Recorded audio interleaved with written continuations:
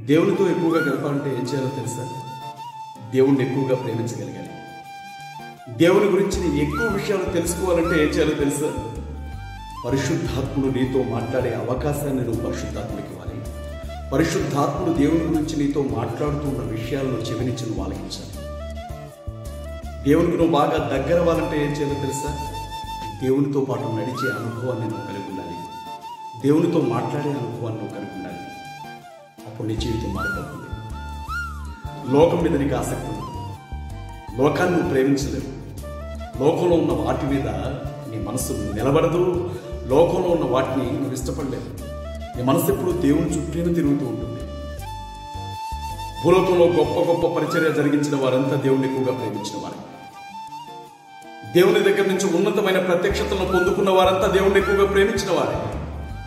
దేవుని దగ్గర నుంచి గొప్ప గొప్ప దర్శనాలను చూసిన వారంతా దేవునితో ఎక్కువగా మాట్లాడే అనుభవం కలిగి ఉన్నవారు. మీకు తెలియదు కాదు నేను చెప్పేంత నుండి కాదు కానీ యేసుక్రీస్తు ప్రభుతో పాటు మూడున్నర సంవత్సరాల కాలం పాటు ఆయన పరిచర్యలో కొనసాగిన అపోస్తులలో ఒక్కడు మాత్రమే యేసుక్రీస్తు ప్రభును వదిలిపెట్టి వెళ్ళిపోయాడు.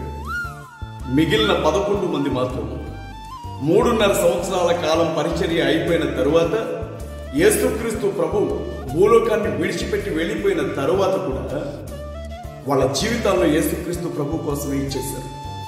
వాళ్ళు భార్యల కంటే ఎక్కువగా వాళ్ళ బిడ్డల కంటే ఎక్కువగా వాళ్ళ ఇళ్ళ కంటే ఎక్కువగా వాళ్ళ రక్త సంబంధికుల కంటే ఎక్కువగా వాళ్ళ బంధుమిత్రుల కంటే ఎక్కువగా చివరికి వారి కంటే ఎక్కువగా వారు యేసుక్రీస్తు ప్రభువును ప్రేమించారు.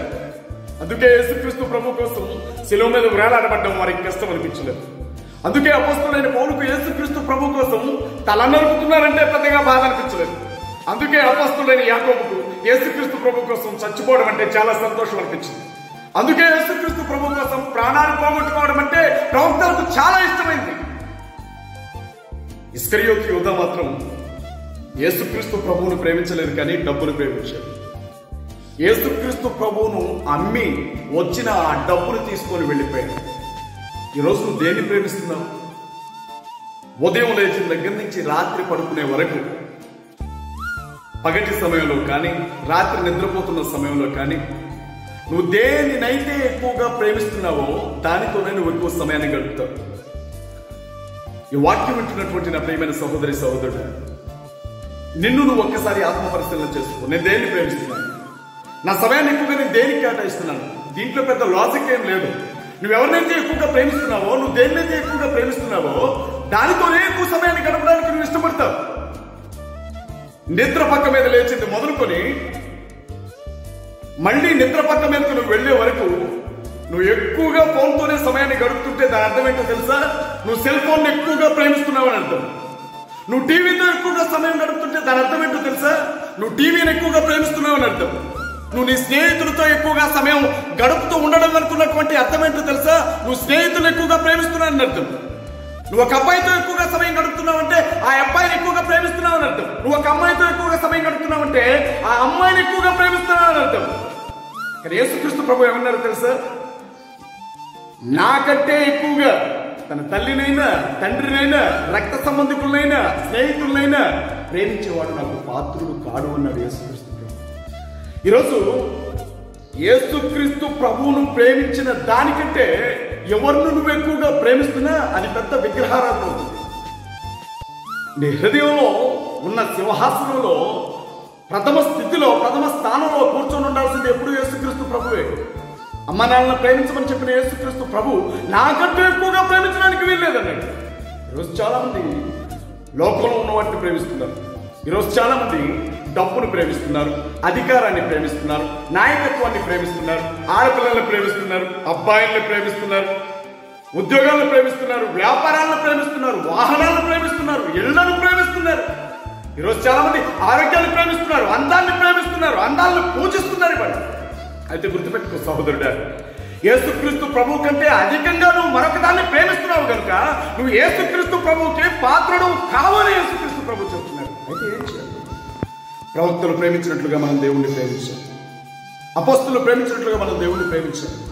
ఆదికాలపు క్రైస్తవులు ప్రేమించినట్లుగా మనం దేవుణ్ణి ప్రేమించాం. అప్పుడు దేవునితో ఎక్కువ సమయం గడపాలనిపిస్తుంది.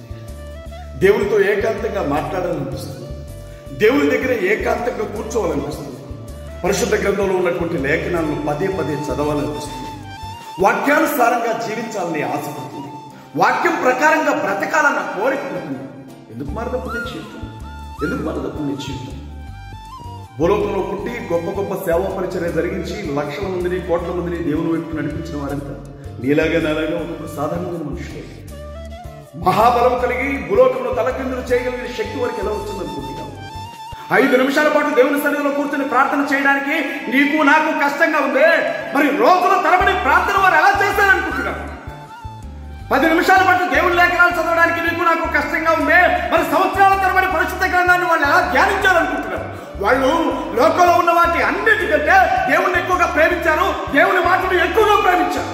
అందుకే భూలోకంలో ఎవరు జరిగించలేని గొప్ప సేవ దేవుడు వారి ద్వారా జరిగించారు.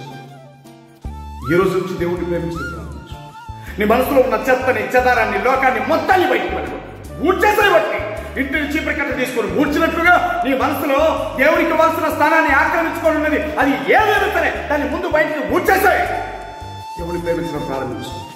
ఆయన గుణాన్ని ప్రేమించు ఆయన ప్రేమను ప్రేమించు ఆయన రోషాన్ని ప్రేమించు ఆయన పరిశుద్ధతను ప్రేమించు ఆయన బల పరాక్రమాన్ని ప్రేమించు ఆయన కార్యాలను ప్రేమించు ఆయన గురించి ఆలోచించడం ప్రారంభించు. నీ జీవితం మారుతుంది. నీ జీవితం ఆశీర్వదించబడుతుంది. నీ జీవితం దేవుడు కోరుకున్న దారిలో వెళ్తుంది. అనేక మందికి ఆశీర్వాదకరంగా మారుతావు. చీకట్లో ఏడుస్తున్న అనేక మంది దేవుని వైపు నడిపించగలుగుతాం. దేవుడి కోసం ఒక అగ్ని పర్వతం మండినట్లుగా ఈ లోకంలో మండుతాం దేవుణ్ణి ఆశీర్వదించను కాక